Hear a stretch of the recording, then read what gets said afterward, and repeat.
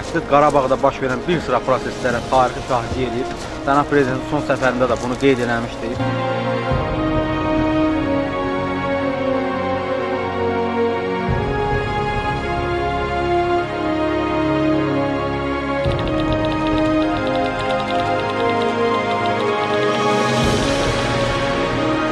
Yaslı məscidin tarixi ilk tikilmə tarixi 1898-ci ildir.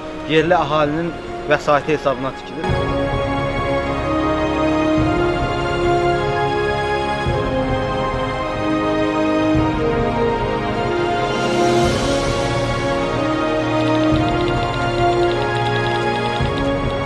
Nəyə görə Şahbulaq? Çünki aşağısında yerləşən bulaqdan götürüb adını.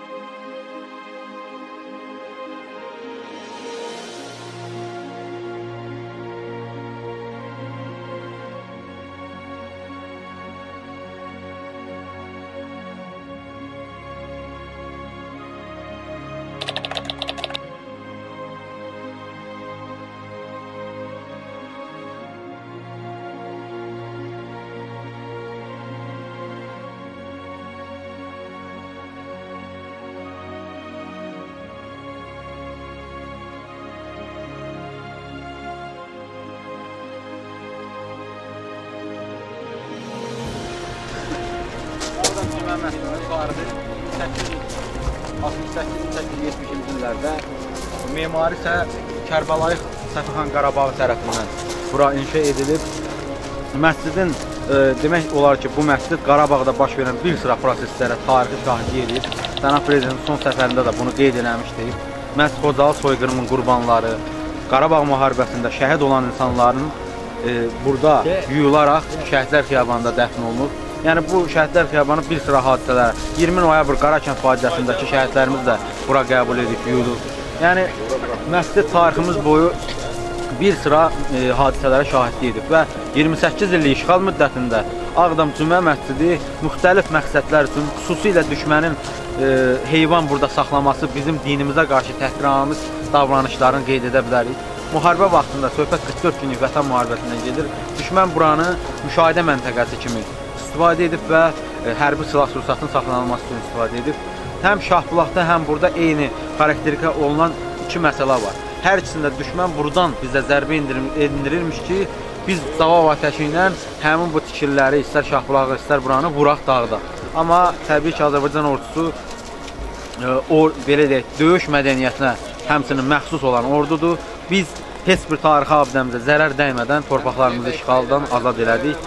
Təbii ki, indi burada təmir bərpa prosesi başlayıb. Cənab Prezidentin son səfərindən sonra HDL fondu tərəfindən bu il çərçivəsində təmirin yekunlaşmasına görə tamamilə bağlanıb təmirə. İçərisinə də daxil olmaq olmur hal-hazırda. Həm içəridən indi yəqin ki, havalar sinirsiz, çöldən də tam e, belə deyək, bərpa prosesi yekunlaşacaq. Buyurub, sadəcə məsciddən buradan şəkil çəkdirə bilərsiniz.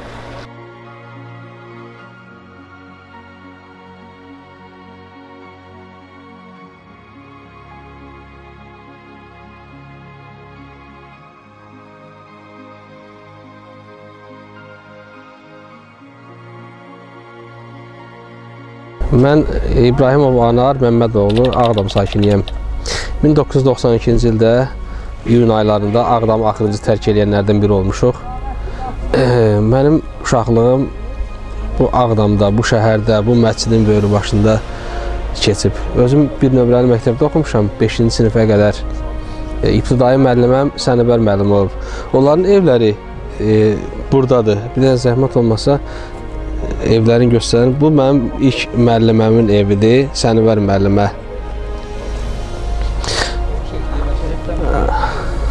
Ağdamla bağlı təəssüratlarım çox böyükdür. Mən ilk dəfə, ikinci səfər də Ağdama gəlmişəm. İlk dəfə gələndə çox həyəcanlı idim. İndi də özümə gələm. Nə bilim valla deməyə sözüm yoxdur. Adam vətəninə, torpağına gələndə necə hisslər keçirir, necə olar? Mən sözümü ifadə eləyə bilmirəm. Allah ermənilərə, mənfur düşmənlərimizə lənət eləsin. Bu Ağdam bu günə qoyublar. İnşallah cənab prezidentimiz demişkən Ağdam çox gözəl olacaq, çox qəşəng olacaq. İnşallah köçüb gəlib burada yaşayarıq.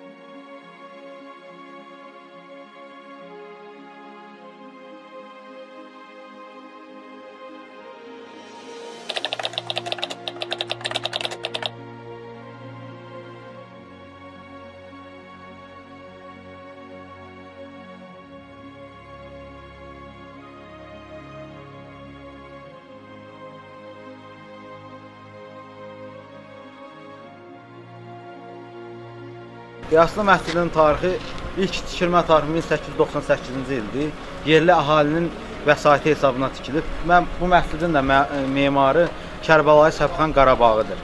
Və məscid məscid kimi xarakterik olaraq işləməyib çox. Belə deyək, e, Sovetlər dövrünə düşdüyü üçün Sovetlər dövründə də e, dini belə deyək, e, müsəlman dini etiqadlarına qarşı olduqlarına görə məscid daha çox ambar kimi istifadə olunur. Respublikanın ilk yaşıl apteki məhz bu məscid olub. İlk şey e, kəndin ilk mağazini burada olub. Belə deyək, Sovetliyin binası burada olub. Daha sonralar qarşıya mağazin tikilir və 90-cı illərdə burada artıq 20 yanvar hadisələrindən sonra məscid kimi istifadə edilməyə başlayır.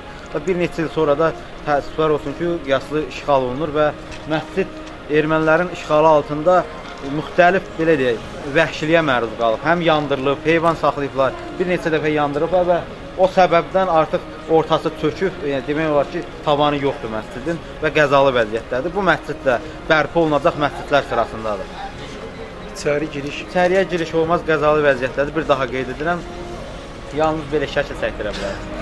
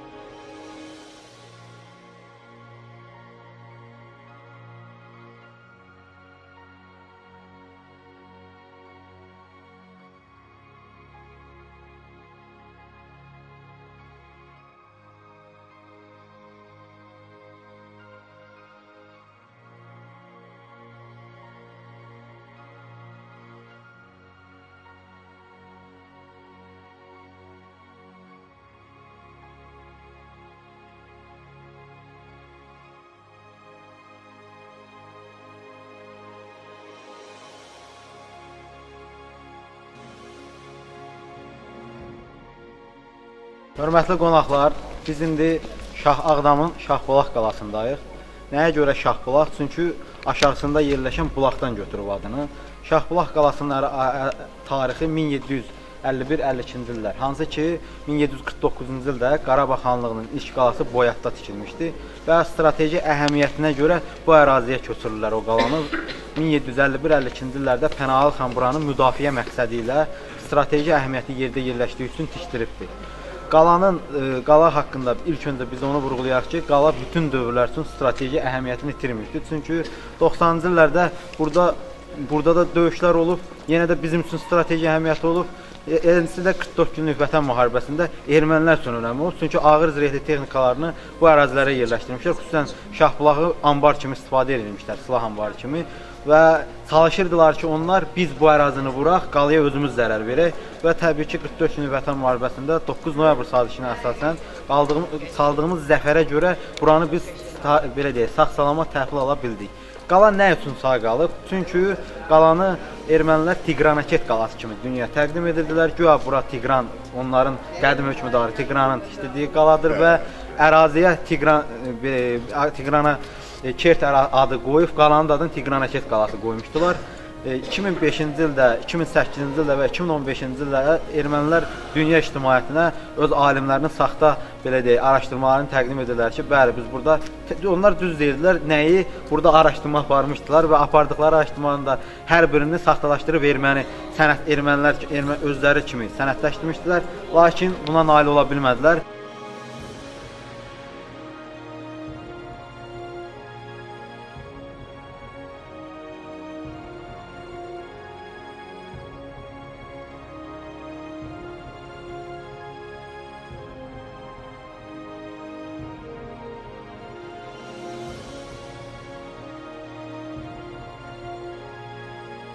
Hal-hazırda durduğumuz yer Şahbulaq adlanan yerin özüdür.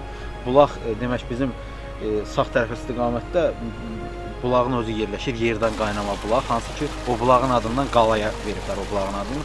Arxa tərəfdə duran o məscid, kiçik məscid isə Şah Abbas səfərləri zamanı yol üstü inşa elətdirib e, və Şah Abbasın özü üçün tikdirdiyi balaca bir məsciddir. Bulağın düz kənarında da orada da bir bulaq var. Amma Şahbulağın yerləşdiyi ərazi bura sayılır və yuxarısında da qala yerləşir.